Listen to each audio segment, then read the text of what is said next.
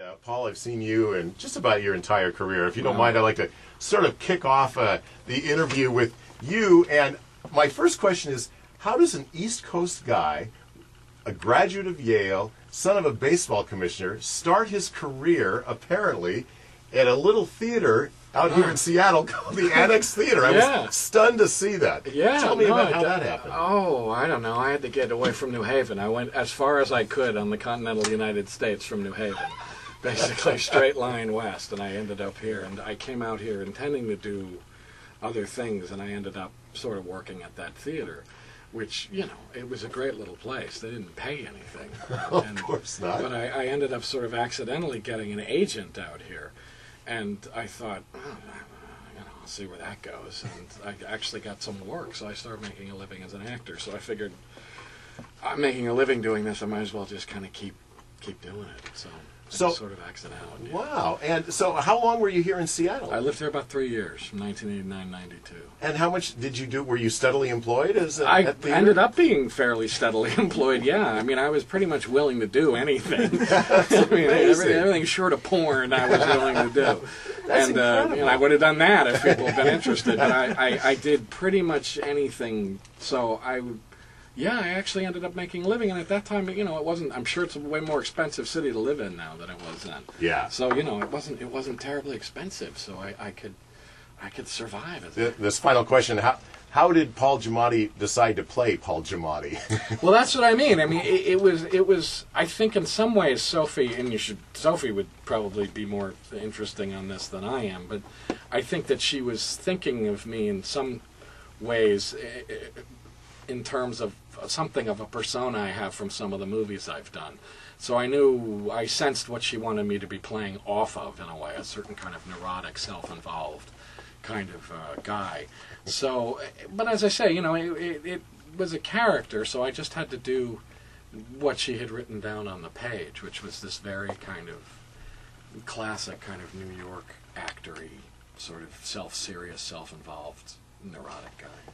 Which is no no no. Not a big stretch for me. Is that what you're asking me? I, I, I hope it's a big stretch for me. That's good. So Sophie, so to back up, we're talking about Cold Souls, your uh, first feature. Has an incredible cast, as I'm sure you well know. But what I thought most interesting, reading about the uh, background of this movie, is where it came from. This, how does a how does a book, a, a Jungian book or a book by Jung, and a dream about Woody Allen end up being made into a movie? Tell me about how that process came to pass. I don't know. I think it's you know strange synaptic connection in your brain after I was really intensively watching the old vintage Woody Allen movies.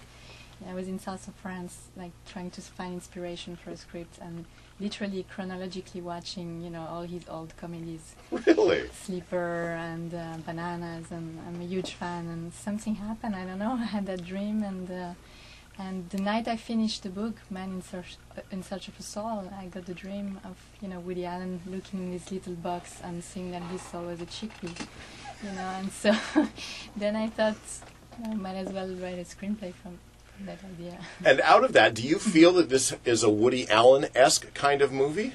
Well, I think there are a lot of uh, influences. You know, I admire him so much, and I've really been raised in France. We have this admiration for Woody Allen. He's a sort of god. I think he's bigger in France than he's here. There have been a lot of comparisons, I know, to uh, Charlie Kaufman has this kind of being John Malkovich or being Paul Giamatti kind of quality. Do you find those comparisons flattering or irritating?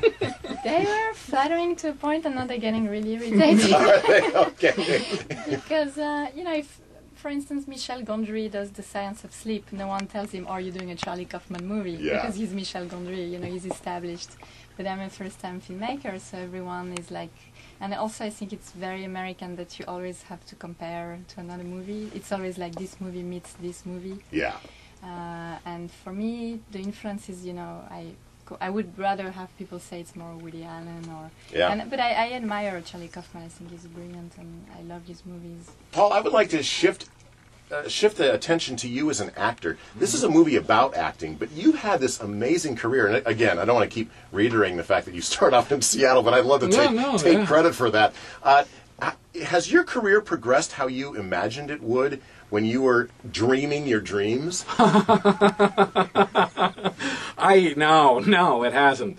I I didn't really have any particular. I mean, as I say, I, it was somewhat accidental. So I didn't have a whole lot of sense of where it was going to go or what it was going to be like, and so it's been a series of kind of funny detours, and and it's been very patchy and, and crazy, and and it's a couple steps forward and steps back and steps to the side and one of the things I liked about it and still like about it is that I don't know where it's going to go and Yeah. what I'm going to do next, and and I actually really like that. I'm just wondering, what were your impressions of Seattle at the time, besides just it just being a getaway? Because I completely get that as an Yeah. actor.